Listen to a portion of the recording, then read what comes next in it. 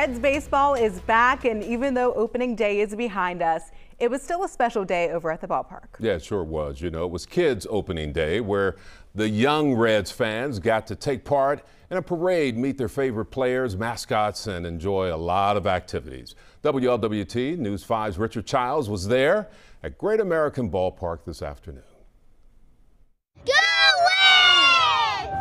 Win or lose in Cincinnati, we learned pretty early to root for the home team.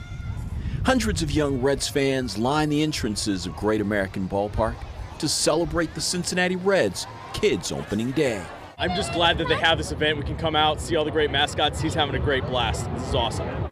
With mascots and player appearances, the excitement of the Major League Ballpark scaled down for the next generation of Reds fans it's really awesome for her to be able to, to be a part of this, to, to see the Reds and be able to be part of this culture, to, to have some roots in Cincinnati. Baseball's oldest professional franchise played host to its youngest fans in a tradition that has grown a lifetime love for the ball club, even if that love sometimes needs a little coaching. Go Reds! One more time. Go Reds!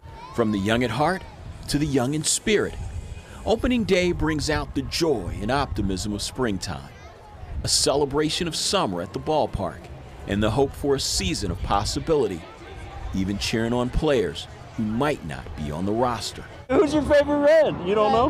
Rosie. Oh, her favorite Red is Rosie. Cincinnati Reds Kids Opening Day, always a home run, even when the tag gets missed in the field. With lots of baseball left to play, nothing more exciting. Putting the exclamation point on opening day weekend Kids opening day building a new fan base for these Cincinnati Reds. From Great American Ballpark. Oh, no high five, you're missing a play. Richard Childs, WLWT News 5. Looking like Votto, missing the play. All right, boom. I like that. We'll do it that way. Missing the play, yeah.